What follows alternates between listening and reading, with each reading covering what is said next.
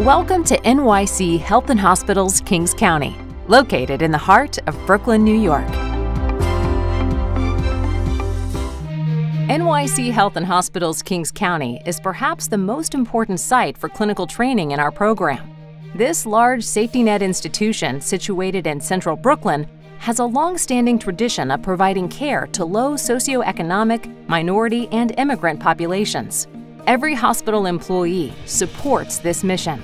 The Infectious Diseases Fellowship Program is a critical component of the clinical enterprise here, and fellows participate in all aspects of care.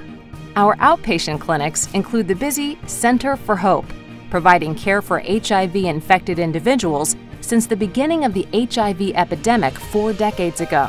We are, in fact, one of the largest centers in the Health and Hospitals network, serving over 1,800 patients.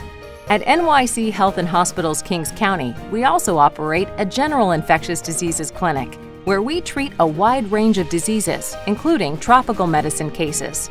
In addition, our division operates one of the only non Department of Health associated STD clinics in NYC, a unique learning environment to which many learners from outside the institution come to study.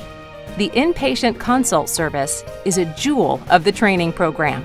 Many services depend on our expertise and advice, and we are always in demand. In all cases, fellows are supervised one on one by an attending physician. To moderate the workload, they are assisted on the inpatient service by an extra attending service that sees consults without a participating fellow. NYC Health and Hospitals Kings County is a great place to learn.